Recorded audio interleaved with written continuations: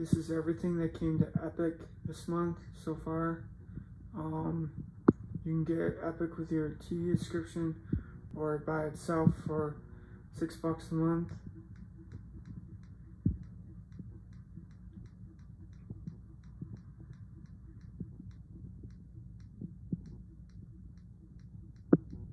They get all the new releases from Paramount, MGM, after so much time after release. Here's the stuff that's coming to EPIX.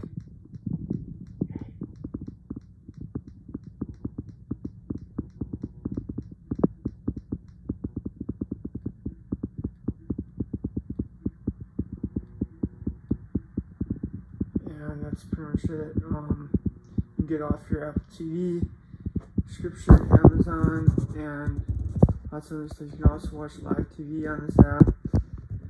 And, um, yeah, so hope you like that list. And there's thousands of movies on here, and, enjoy. This is Ryan Kramer. Thanks for watching.